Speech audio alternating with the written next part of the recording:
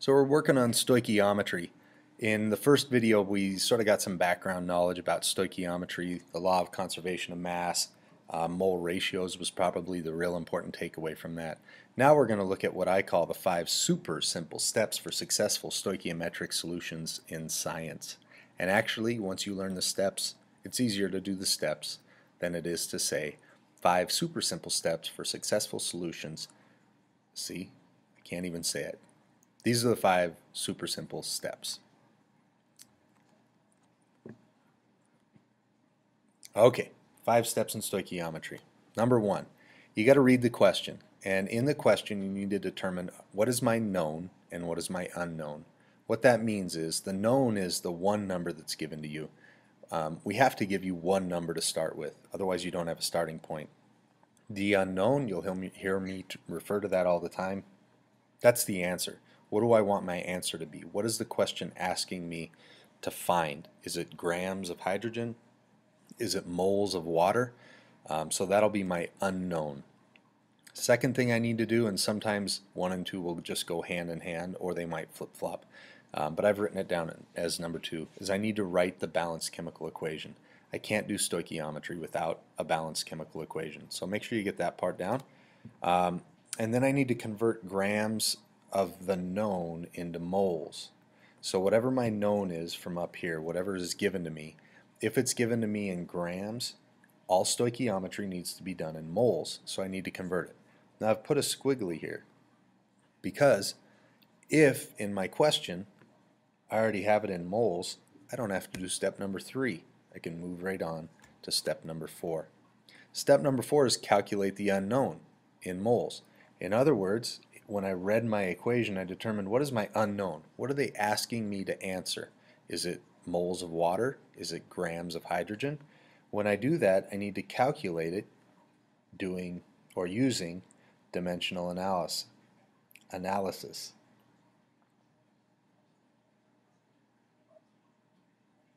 And if you're having trouble with that, go back and see some of the earlier videos. Again, I think dimensional analysis is, is the most important takeaway from um, chemistry. I really do. Uh, besides the lab component of being able to do these things and, and, getting your hands dirty and applying science.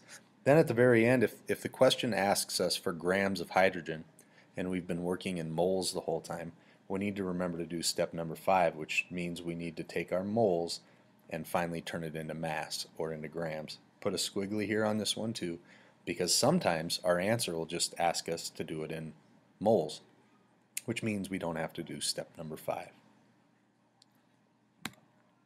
Let's look at an example. This is the reaction of potassium and water. So how many moles of hydrogen are produced when this should be just put point tried to 0 0.400 moles of potassium is used. So right here our potassium. Now some people they start to this is a, a, rather simple word equation or a word problem but people shut down immediately because I, I, I don't even know where to start. That's what I hear most often. Well you go back right back to the five super simple steps. We go to number one. We identify the known and the unknown. And what I'll try to do throughout these is keep track of the known in green and the unknown in red. So I'll be switching back and forth. So I determine my my known in here, that's the only thing that's given to me. That's the 0.400 moles of potassium. Again, that was just an error on my part. And then my unknown, keeping track of that in red, is how many moles of hydrogen. So in my equation, I need my um, answer in moles of hydrogen. I need to keep working until I get to moles of hydrogen. I go to step number two down here, and step number two tells me that I need to write a balanced chemical equation. If I look at the equation up here, it's already balanced. You can go ahead and check that if you want, but I can pretty well guarantee you that that is balanced. I look at number three, so I'm done with number two. Go to number three. Convert grams of known into moles. I go back to my known. That was the one I underlined in green. And it is not in grams. It's already in moles. I don't need to do number three. I go to number four. It says calculate the unknown in moles. This is where I do the dimensional analysis. This is where I find the answer to the problem. So I go back to um, my earlier work with dimensional analysis. And in dimensional analysis, I always have to write down what I know. It's my starting point. And what I know is that I have 0.400 moles of potassium. I want my answer way over here in moles of hydrogen. And remember, hydrogen is a diatomic, so it has to be H2. In order to do that, I need some conversion factor that gets rid of moles of potassium.